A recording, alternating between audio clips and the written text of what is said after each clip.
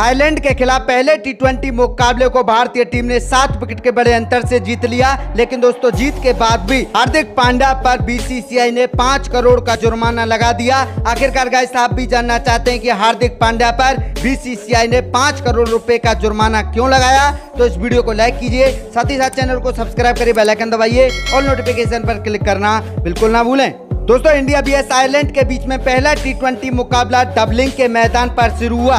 जबकि दोस्तों, बारिश के कारण इस टी मुकाबले को बारह बारह ओवर का कराया गया। जबकि दोस्तों आयरलैंड की टीम ने सबसे पहले बैटिंग करते हुए 108 रन स्कोर बोर्ड पर लगा दिए, जिसमें हैरी ट्रैक्टर ने चौसठ रन की विस्फोटक पारी खेल डाली और इस लक्ष्य का पीछा करने के लिए जब भारतीय टीम मैदान पर आई तो भारतीय टीम की ओर से ओपनिंग करने आए थे दीपक हुड्डा के साथ ईशान किशन।